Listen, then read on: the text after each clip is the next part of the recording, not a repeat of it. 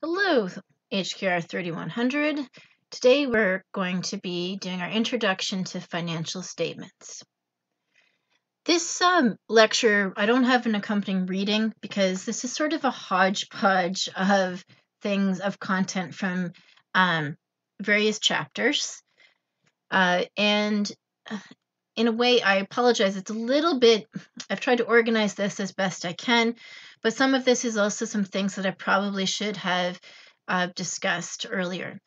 Um, next year, I might change things around. And you may recall when I, I mentioned to you, I, I don't really like the order of the textbook because I find the textbook very repetitive as it goes along.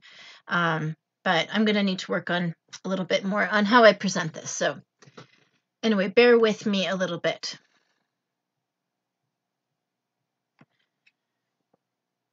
So we have talked about the accounting of the three sectors, and um, we also, you know, you, we are comparing the three sectors. But when you were talking about the art of accountancy, we looked at the differences between the three sectors.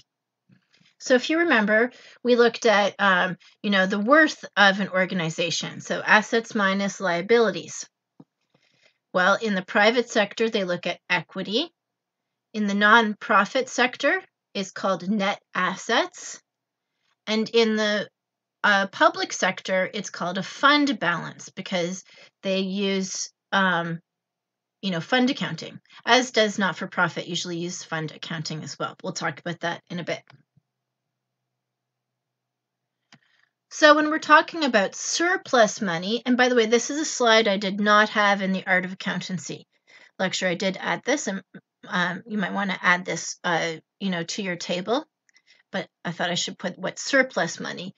Surplus money then, so that would be when your assets are greater than your liabilities. That's called obviously profit in the private sector. It's still called net assets in the nonprofit sector, and it's called a fund balance, meaning like a positive fund balance in the public sector. We also talked about the number of funds. You know, in the private sector, they're really they're not using fund accounting. They have kind of one fund, one bottom line. In the not-for-profit sector, they have multiple funds. And these are often separated into operating funds and reserve funds. So an operating fund is set aside for the operating budget, where reserves are for unexpected costs. And in the public sector, they also use this kind of like fund accounting too. So it's multiple funds.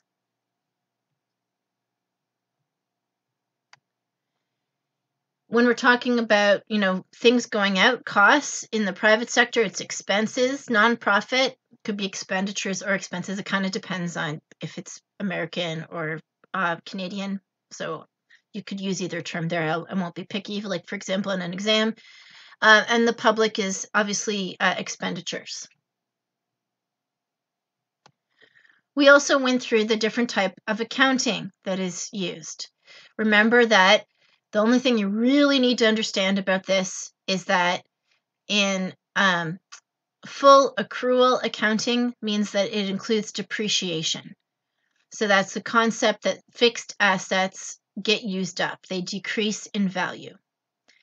In the public sector, they used modified accrual accounting because they do not um, uh, they do not depreciate fixed assets. The other difference is, is like you know, when you're uh, now this isn't an accounting class. I'm just trying to introduce you to these concepts, but you also see um, like people talk about for-profit or profit accounting is also different.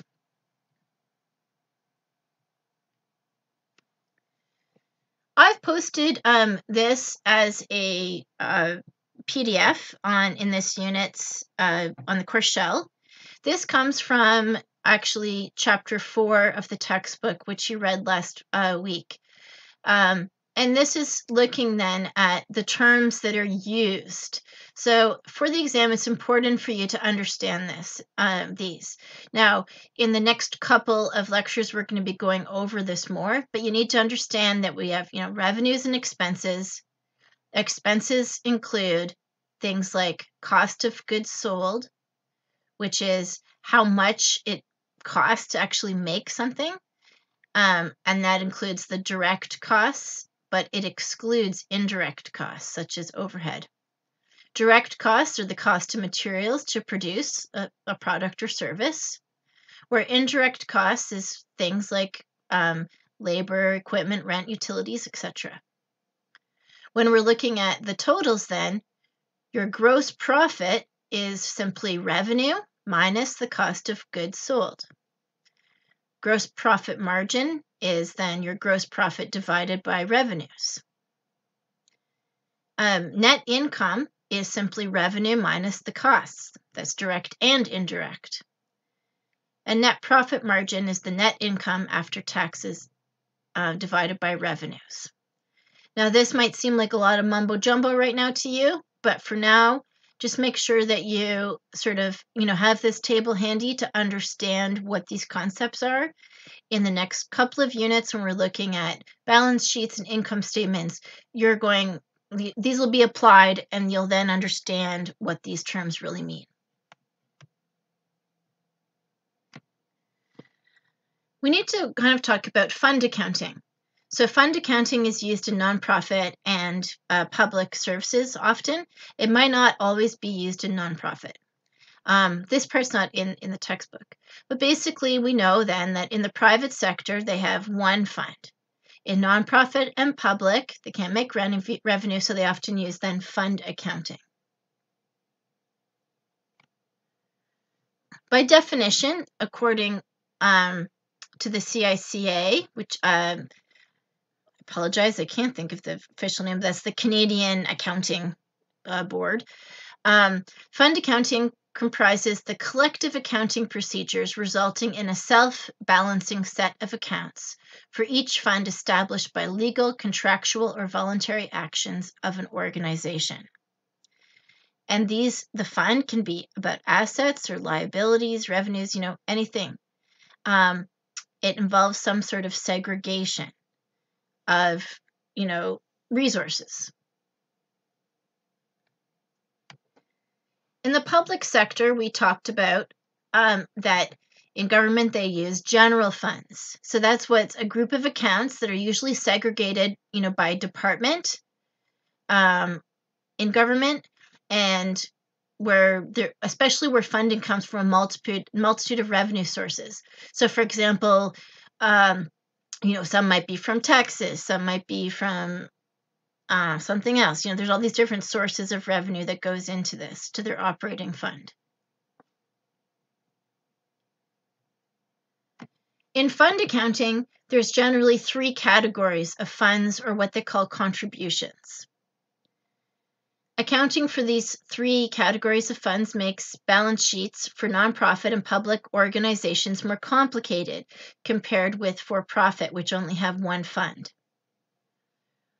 Um, the response to keep track of multiple funds generating reports that are similar to balance sheets and income statements for each fund, and each fund usually has its own budget. So the categories we're going to talk about are restricted, endowment, and unrestricted funds. So on the exam, it's important for you to understand the difference between these.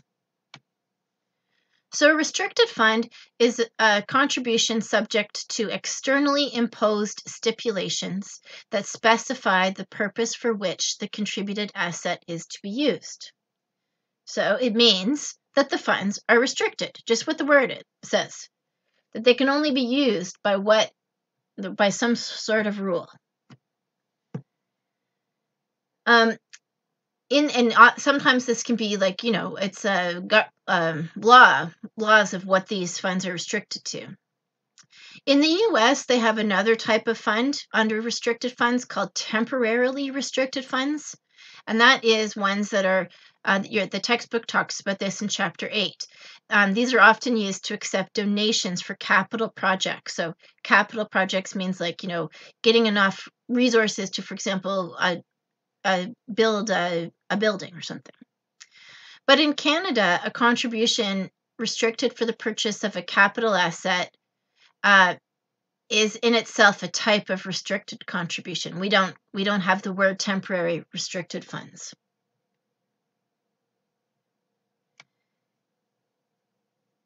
And a lot of this then is about having transparency of not putting donation money with operating money. Now, we've kind of talked about endowment funds, I believe, before, um, but an endowment is often like it's a ty- it's a special type of restricted fund, um, and it's usually that the resources that are contributed to it um, can uh, like are used for a specific uh, purpose. And it's usually it's the interest rate on the money that is used so for example you might have contributors contributors to an endowment fund for like let's say scholarships. Let's just say that that money is $10000 well the $10000 isn't used to give the scholarships. It's the interest rate from that money being invested. So endowment funds are usually like they have to have a specific name. And the point of this is that if you're donating money, it's to it's to ensure that the donor's money is actually going to the you know the reason the like what they wanted it to, to be for. So this is more of a long-term donation. And once the certain prince like the principal and the money reaches a certain amount then the interest is earned annually in per, in per, perpetuity i can never say that word pardon me to cover the costs so uh, and that means like for life or in some cases forever And then finally, there are unrestricted funds. So this is a contribution that's it's not restricted, it's uh, and it's not an endowment. It can be used for many things. It's usually for operating purposes or like an operating fund. Um, it's often specifically the money that's used for uh, the main uh, programs. And in the case of not for profits, it might be like their memberships and fees, uh, donations, etc., unrestricted donations.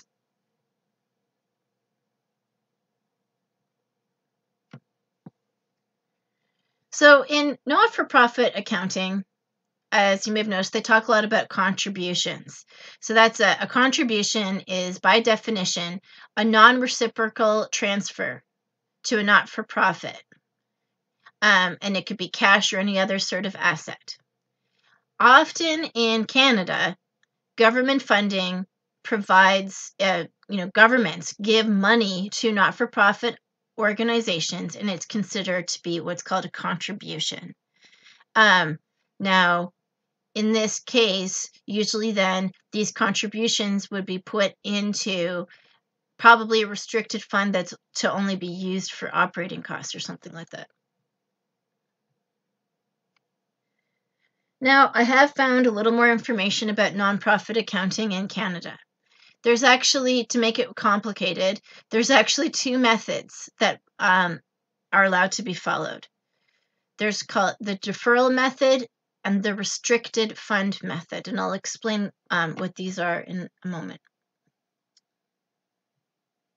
So in the deferral method, restricted contributions related to expenses of future periods are deferred and recognized as revenue in the period in which the related expenses are incurred. So, what does that mean? Well, it means that a not for profit gets a contribution, it might be restricted, and they're let's say they're getting it in 2021 they're allowed to defer getting that revenue until, let's say, 2022, when that money is going to actually be used, when there's maybe a special program and that expense can be used. Okay. So, um, and I guess they, I don't know when they, how they choose if they use which of these methods though, but so endowment contributions are usually reported as direct increases in net assets in this method, and everything else is reported as revenue for that current period. And or uh, organizations that use fund accounting, so I've tried I've tried to split like not for profit might not always use fund accounting. Government does though, uh, but in Canada they might not. In their um, organizations that use fund accounting on their financial statements without following the restricted fund method would account for contributions under the deferral method. So that means um, if it, uh, basically if they're not following this restricted fund method, they have to follow the deferral method. Basically, is what that's saying.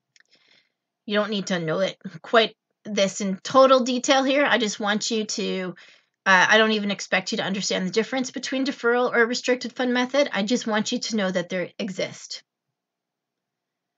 Where a restricted fund is a special type of fund counting um, where uh, they have to report their total uh, general funds, they have to report uh, different restricted funds and endowment funds. So they do it uh, overall.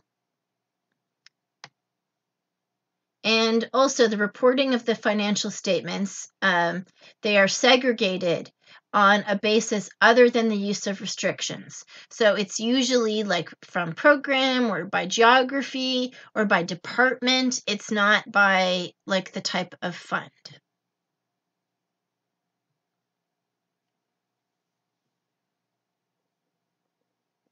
Now, when it comes to government sector accounting, Governments obviously differ from commercial uh, because they do not exist to make profit. Um, they're providing services, and revenues are derived mostly from taxation. In Canada, the Chartered Professional Accountants Canada's Public Sector Accounting Board exists, and they have uh, a handbook.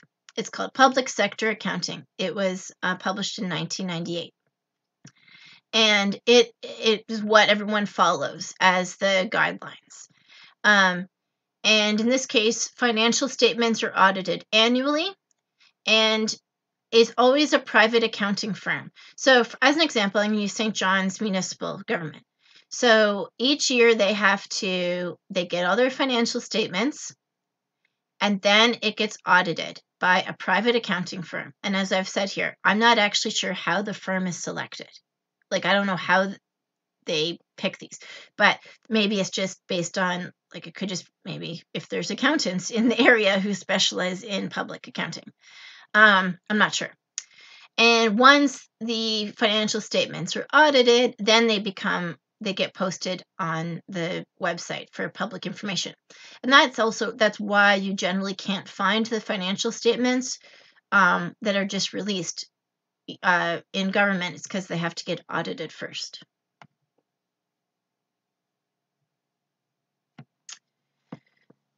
So there are then accounting standards for these different financial reports that we need to understand. In Canada, we have the Financial Reporting and Assurance Standards. Um, it's the Accounting Standards Board. They set all accounting standards, which are called the generally accepted accounting uh, principles for all organizations um, in Canada. Uh, and one thing I've learned from researching this is that actually uh, Canada's uh, is quite advanced in its accounting standards, and Canada is viewed world uh, worldwide as a an example of um, excellent accounting practices. I guess or a model. So you need to understand the generally accepted accounting principles.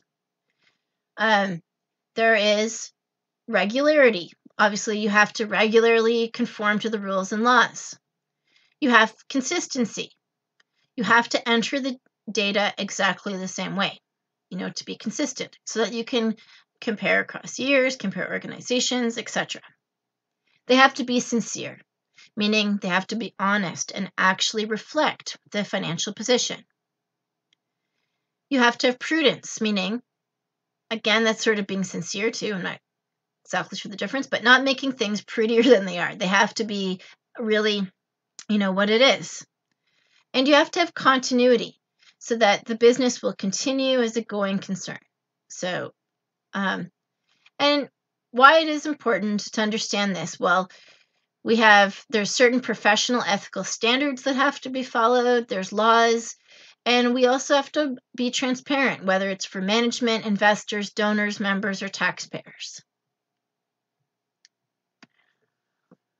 Uh, one thing i want to point out that is important when we're starting to learn how to actually read these financial statements is that a generally accepted accounting principle is that um, negative numbers are put in brackets, in parentheses. You don't actually put a negative, okay? It's always parentheses. So I on an on a financial document when something has brackets around it, it means it's negative. And why? Well, it's because a negative number, that little negative can really get lost when you're reading it. So um, it's difficult to see the minus sign. So they use brackets. Obviously, transparency is obviously a big part of the accounting principles that you're not hiding the financial position at all. So that is very important. And obviously, it's been a theme throughout this. We know that in public, they have to be the most transparent, but um, not for profit still needs to be transparent a bit, whereas public very rarely has to be transparent unless they're a I'm sorry, private, unless they're they've uh, gone public as a organization. Um, obviously, uh, the reports developed have to provide a clear and accurate picture of the financial condition.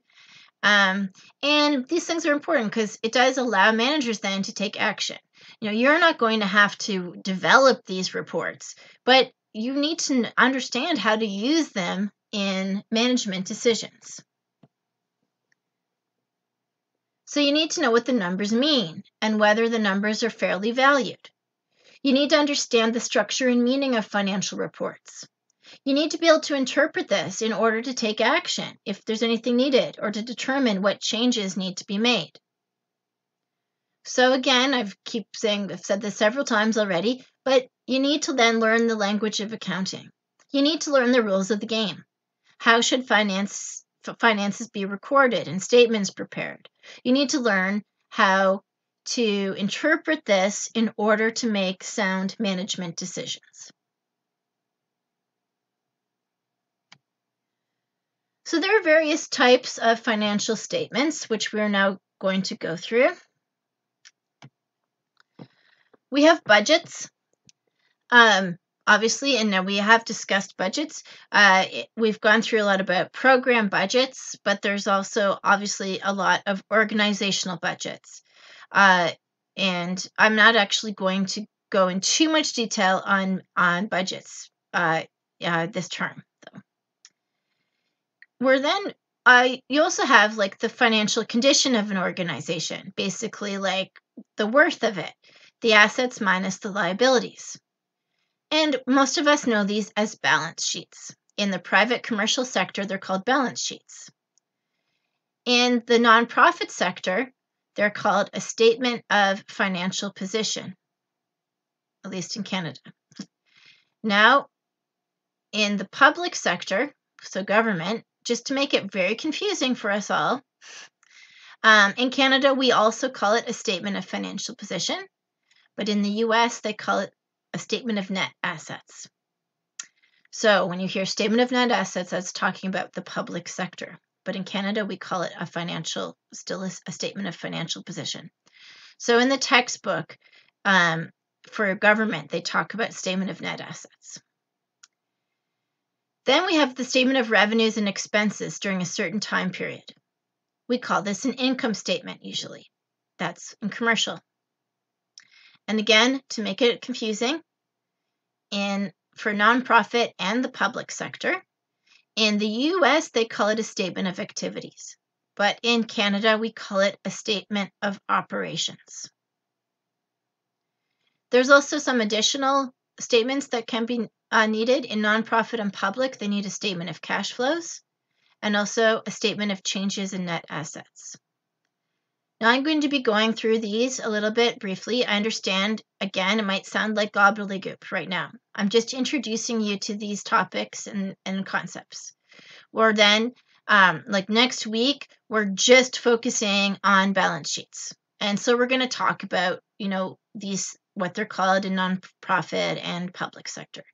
The week after that, we're focusing on income statements. So, you know, the statement of activities and operations. Um, in we're going to just very briefly in this uh, lecture talk about statement of cash flows and changes in net assets. So again, just introducing, you don't need to fully understand this all yet. It's an introduction. So in the private sector, they use budgets, obviously. All, all three sectors use budgets, uh, and they have balance sheets and they have income statements. But this is different when you're not making profit. In Canada, for a nonprofit organization, they have to have the statement of financial position, um, which is the, as I said, that's um, like the balance sheet. They also have a statement of, you know, activities operations, which is like the income statement. They have the changes in net assets, and they also have cash flows. Um, most, but not all, not for profit organizations publish financial statements, which are seen by both direct stakeholders, like members, or by members of the general public. These financial statements have to be prepared in accordance with the CICA handbook. And, you know, um, it used to be, I guess, uh, not for profit accounting used to be very tricky. And Canada's actually made a lot of progress in making changes, and that's one of um, our not for profit accounting, I guess, is viewed as some of the best in the world. We've made a lot of progress towards making improvements in the financial reporting practices of nonprofit organizations.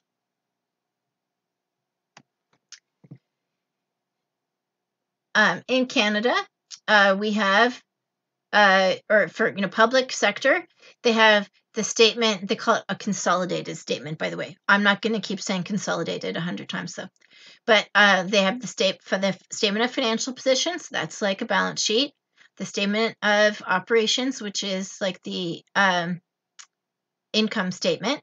Then they have a statement of change in net debt and the cash flow statement. Now, personally, like uh, uh if you're looking at, or I mean, I'm not really, most people just look at the, you know, basically the balance sheets and the income statements are the most important to understand. So first we're going to talk about budgets because budgets really are the beginning of, uh, of all of these financial statements. You know, it all starts with making a budget. And budgets are usually based on income statements and um, balance sheets too. So you need to know a few terms. So a budget, what is it? It's an accounting document that predicts how much money an organization is going to receive and how much it's going to spend. It's a plan for getting revenues, and um, it's about organizing the spending for the fiscal year.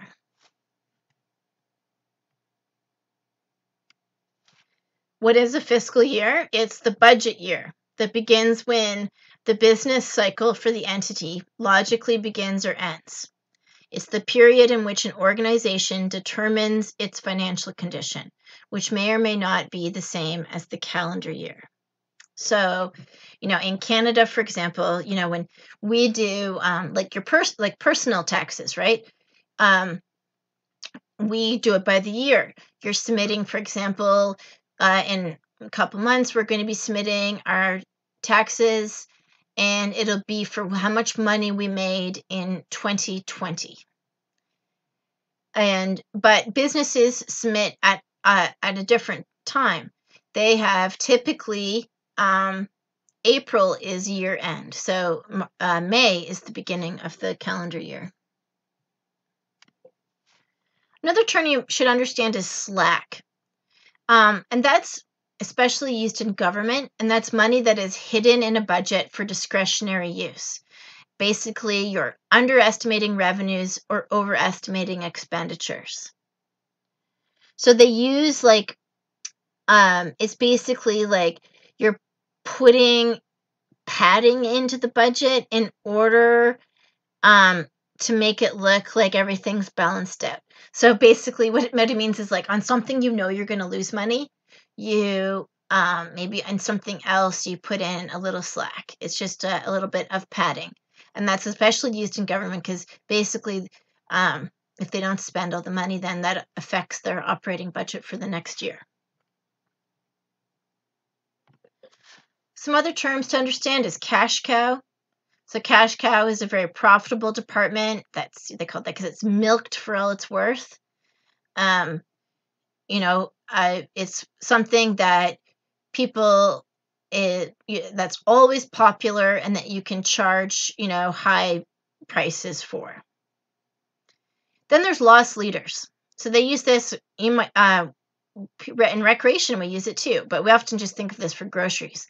That's the products or services sold at a loss to attract customers. So the strategy is that once customers are in the store, they're going to buy other products that are profitable for the store to sell. Um, as an example, think of like the corner, uh, your corner store, uh, like the one in St. John's that I lived near was um, they had always had the best milk. We, I, I don't know, is you know two cartons of milk for uh, seven fifty. Best milk deal in town. They also have the cheapest bananas. Um, and uh, this is like the Irving, I think it was, or no, Ultramar. I can't remember. It doesn't matter. Anyway, and so why do they do that? Well, they, you know, First of all, I'm more likely to go and get gas there because then I can get my milk and bananas. Also, every time I walk to the store to get milk and bananas there, even though it's this little corner store, am I going to buy something else? Well, probably like coffee or maybe something else. So, um, it's they're the things that get people in the room. Um, now we don't use this tons, but as, as an example, let's look at the works. Um, they do not make money on their walking program. I believe it's around two dollars. It might it's probably increased since last looked, but two dollars to use the track at the works. Well, they're not making money there. That is viewed as a service, but it's also attracting customers. Like you know, maybe people maybe start out coming to the works to use the track, and then it makes them so they'll maybe become a member.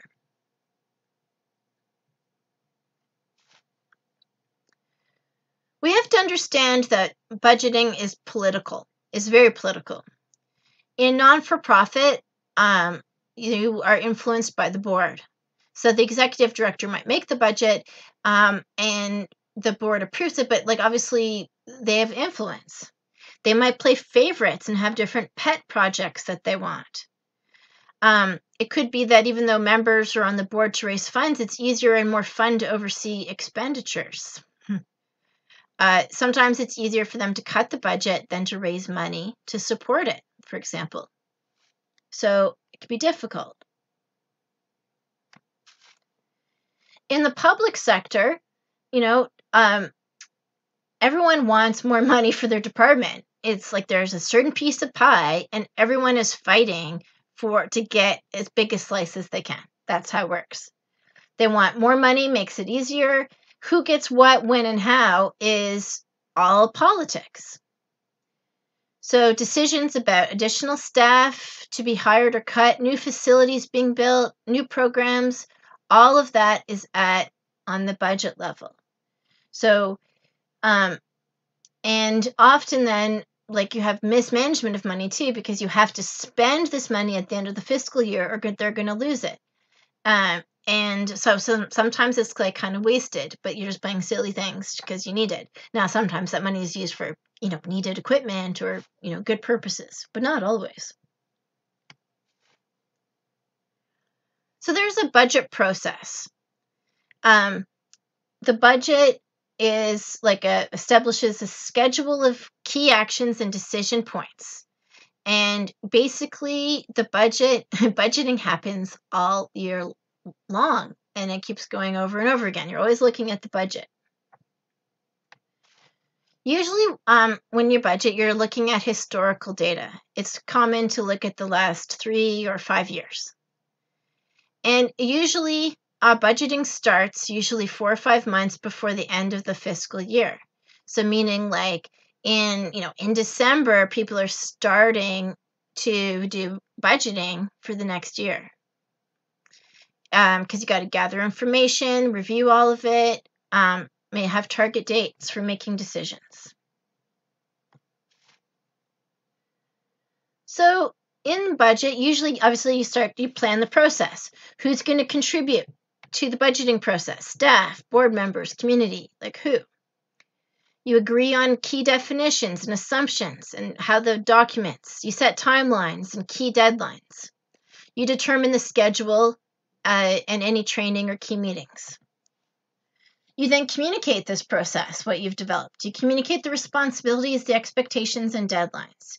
You have to explain and distribute the forms and all the assumptions. Make sure everyone's on the same page.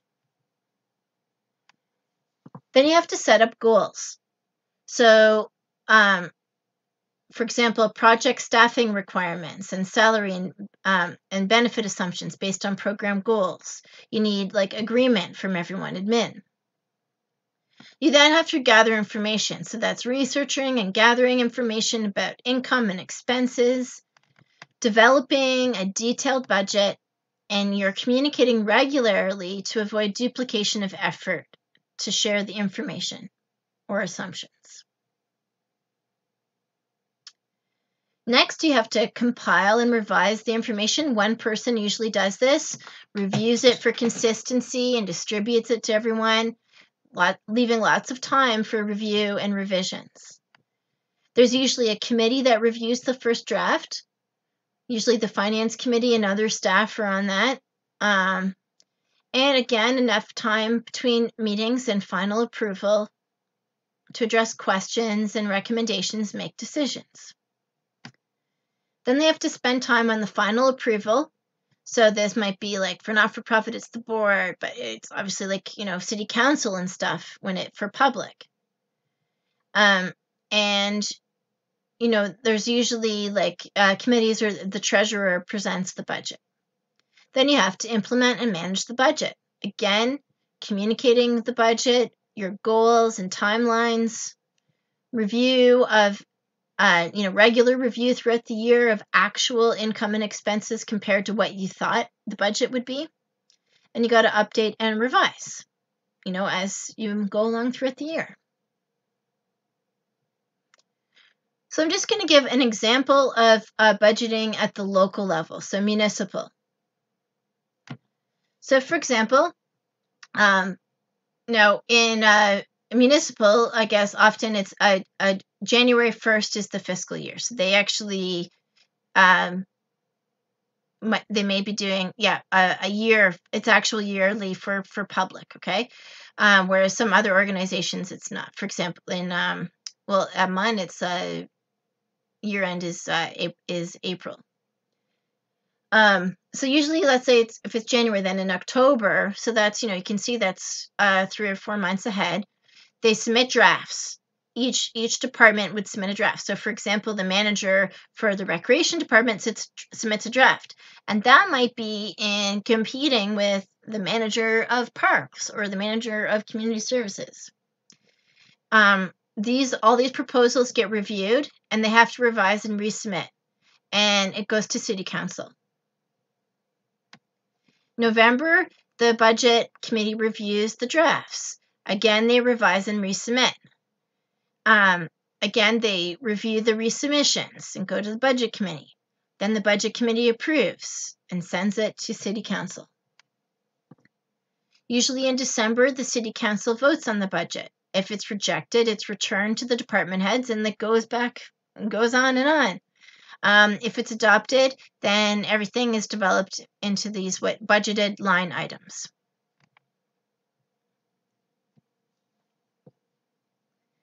So there are obviously roadblocks and challenges to budgeting.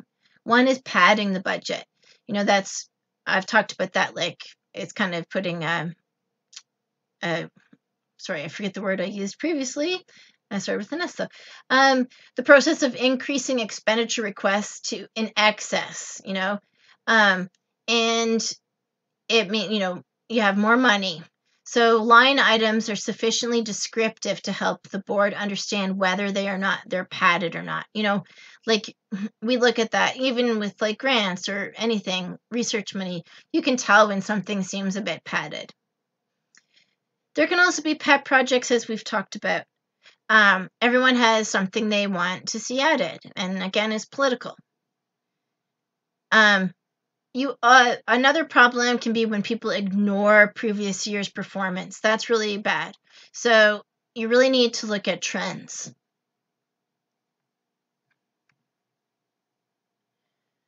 So, how are budgets used to make decisions?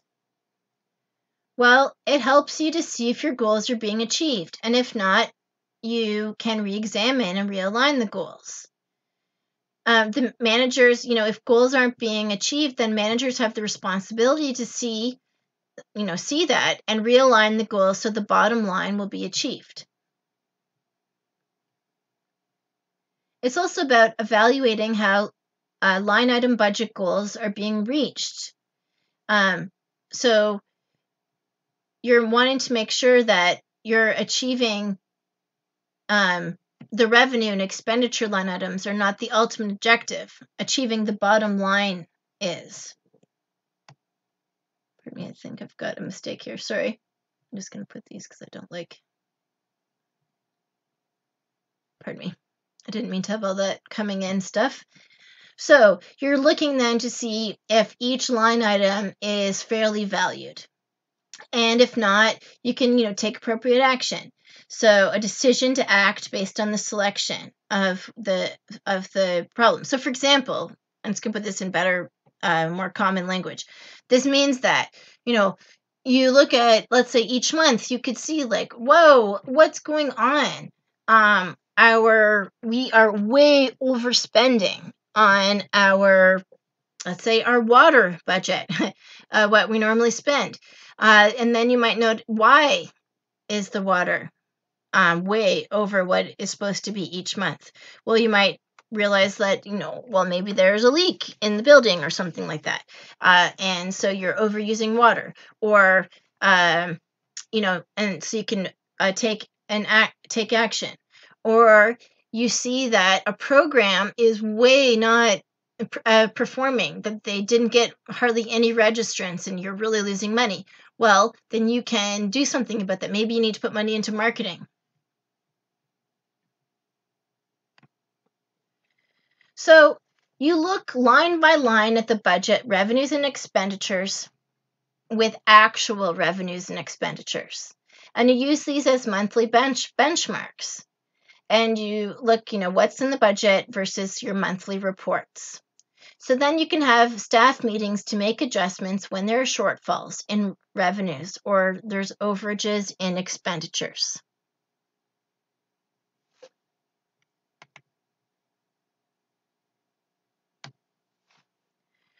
There's also different types of budget theories or methods. One is called incremental budgeting, the other is called zero-based budgeting. Incremental budgeting is the process of using historical revenue and expense data and revising it slightly. Where zero-based budgeting is the process of starting from scratch with every department and line item requiring justification to exist. Okay, so incremental budgeting is used on historical uh, data and maybe just slightly revised. Zero based budgeting is you don't look at the history usually, and you go, uh, you have to make a justification for every single line on the budget. Most companies actually use a combination. For example, for let's say a department um, that's doing well, they might use incremental budgeting, whereas a, a department that's struggling um, you might use zero-based budgeting.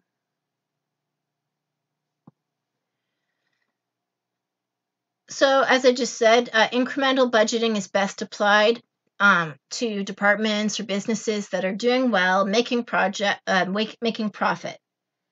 So, um, and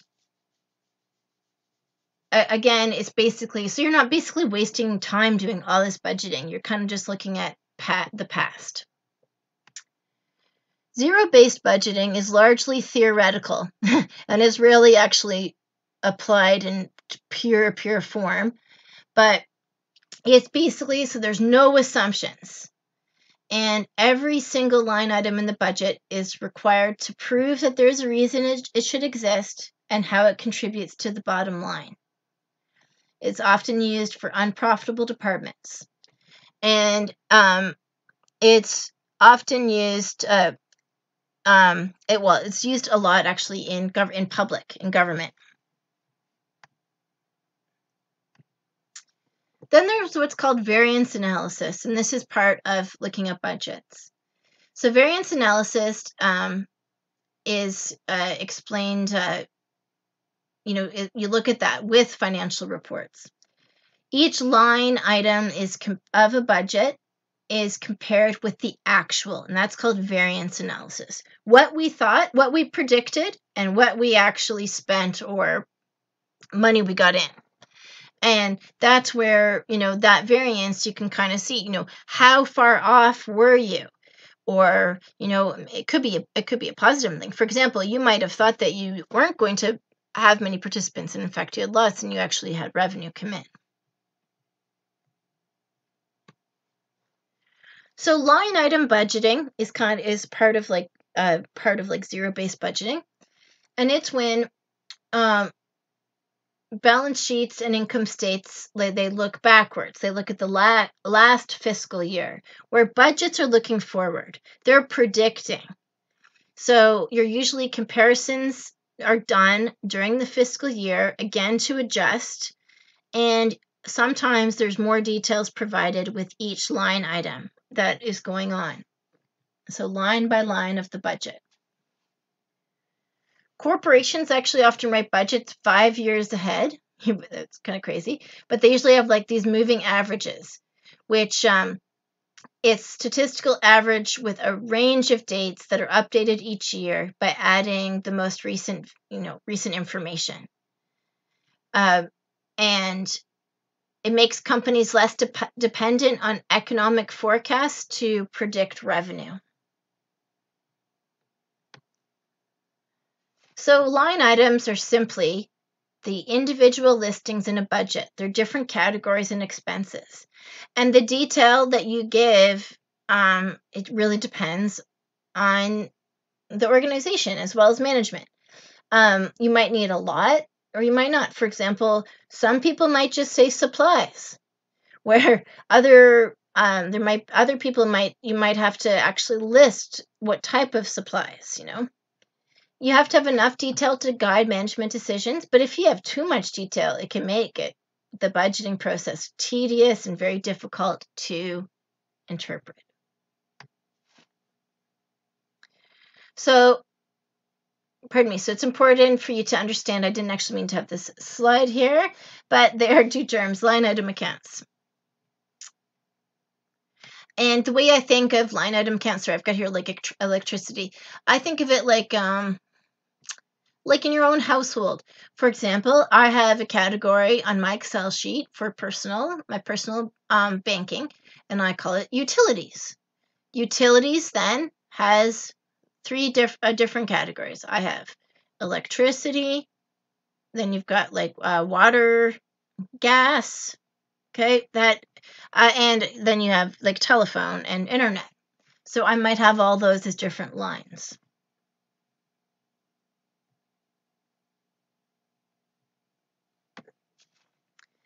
Balance sheets. So again, we're going to be talking about balance sheets next week. Here I just want to introduce briefly. So a balance sheet is a statement that shows the financial condition of an organization. The purpose is to show the proportion of various assets, liabilities, and equity. As I explained already, um, this is called a um, it's called a balance sheet in the private sector, statement of financial position and not for profit, and statement of net assets in, in public.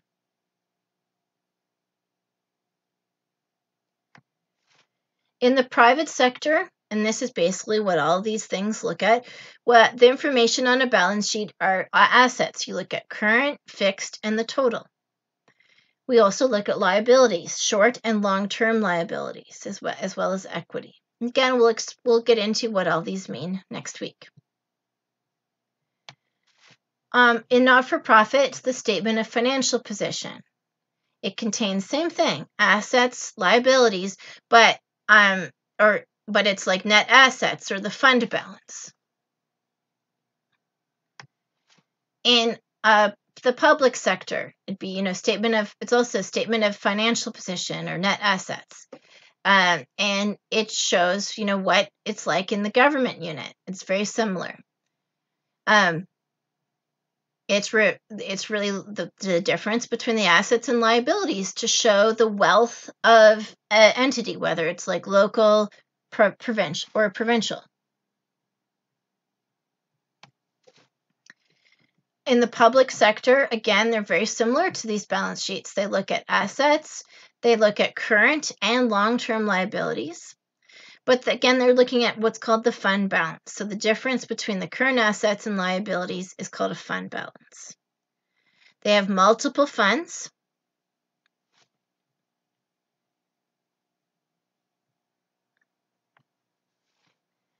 So, um, how are the public and nonprofit uh, documents different from balance sheets? Well, uh, in a statement of financial position or net assets, it shows uh, depreciated assets. And but basically they're very similar. It's just it's just more about the words like they're not using the term equity or um, and it might be more complicated because you may have multiple funds. You might have one of these statements for each of your different funds.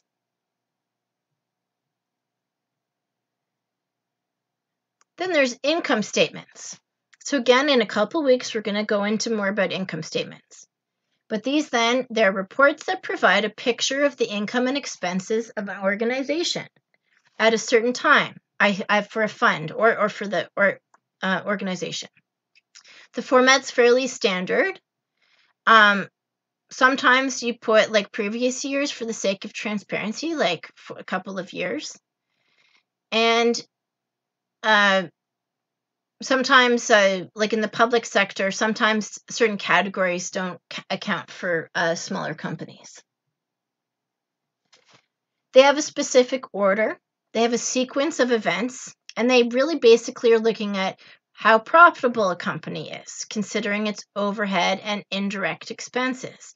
It's looking at the gross profit margin. You've probably heard of that. So, how is a balance sheet different from an income statement? Well, a balance sheet is the financial condition at a given point in time, where income statements show why the balance sheet changed over time. It's more looking at the efficiency and the value. So on an income statement, we look at different things and we'll be talking more about these, but these are many of the terms I've mentioned earlier in this lecture that you're going to need to know. Revenue, cost of goods sold, gross profit margin, looks at overhead expenses, operating income and margin, non-operating expenses, income before tax, and then we also look at net income after tax, etc. In not for profit and public, it's called the Statement of Activities or Operations. As I said, it's different for Canadian and American. It's the same sort of thing. It shows revenues, expenditures, and changes in the balance, you know. It's designed to show how money was used during that year and how it changed the financial position of the nonprofit organization or sorry the public organization. And two more things just to talk about is the statement of cash flows and then uh, net assets change in net assets. So this i'm not we're not going to learn more about later on. This is it. This is your one time to learn about the statement of cash flows. So statement of cash flow is the movement of money. It shows um, it's report that shows the total changes in cash and cash equivalents resulting from the activities of an organization. So, um, and it's you have to uh, disclose where these cash and cash equivalents came from. So it's money. It's about when you've got money coming in and out of, of accounts derived from revenue streams. So, as an example, like um, the like a, an organization, for example, let's say MUN, it might it has to do a statement of cash flows because it has to show like look, we took money out of this one fund, and let's say uh, the the money to pay for salaries for faculty. We had, um, let's say, we had some people on sabbatical or retirement, so we didn't use all the money. Then we get to use that money and stick it into another fund for something else. Well, the statement of cash flows documents that, and it's again, it's about transparency. There's two types of cash flows. There's inflows and outflows. Uh, inflows are derived from revenue stream and are created by revenue and non-revenue engines, whereas outflows are created by expenses. Sometimes your outflows, what's going out, is way higher than what's coming in. And that can be bad. So, a statement of cash flows helps you to manage that. It makes sure that your uh, your inflows and your outflows are, are matching. But sometimes in not for profit and public sector, um, you might need a a bridge loan, and that's a short term loan used until permanent financing is secured or the obligation is met. Uh, and basically, it's a small loan that happens in order to bridge you during the time when your outflows are greater than your inflows. Now, I might be changing a bit about the exam review for this unit and I, you'll notice I haven't posted anything yet. I have to figure uh, this out a little bit more. But essentially, on for this unit, you need to understand the generally accepted accounting principles. Um, went through them all and understand why these are important for us to, to know. You need to understand about transparency, and we've talked about this in other units, kind of just an important theme of this class. To be able to define it and discuss why it's important. I'd like you to understand fund accounting, be able to discuss what fund accounting is and what the problems might be. You also need to identify and discuss the three types of categories of funds restricted, endowment, and unrestricted. For budgeting, I want you to be able to identify and discuss the purpose of a budget. Why is it political? Um, what are some roadblocks or problems that can happen? And also, how is a budget used to make decisions as a management tool?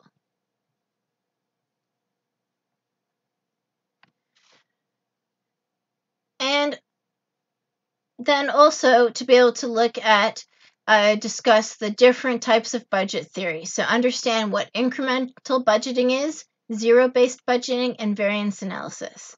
And I should have added their line item budgeting. Um, we're going to be going in way a lot of detail about some of these uh, financial statements, you know, balance sheets and income statements. So for right now, for exam one, um, the, the other units will be on exam two. For exam one, I want you to just basically sort of understand the differences between these financial statements. Also, kind of understand the difference of, about them in terms of the three sectors. Uh, be able to identify the difference in the different sectors. Also, you should note on the exam, I'm going to be giving all the different words um, that it could be so it's not confusing. Um, you know, for example, um, I would put statement of operations slash activities or uh, you know I, I, would differentiate so that because the textbook uses one term whereas in canada we use another and i want you to be able to understand them all. Right and that's it for our introduction to uh, financial management. Um, and you know obviously most of this lecture then is building blocks that you now need to uh, we're going to be using for um, the rest of the course on balance sheets and income statements.